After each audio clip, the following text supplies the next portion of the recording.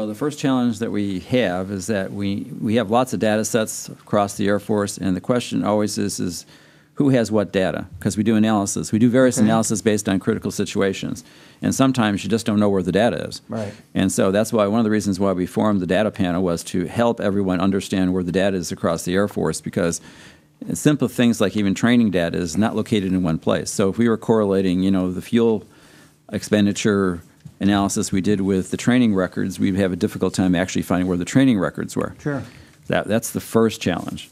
Second challenge we have is uh, the t- amount of time it takes from the ingestion of the data to the analysis of the data. Some of these cases, we want to do it really quick, and we're talking about petabytes of data rolling in and trying to move that into a, a data center that could actually do the analysis fast enough for us to get something done. And that, that's been a problem all along. Sure.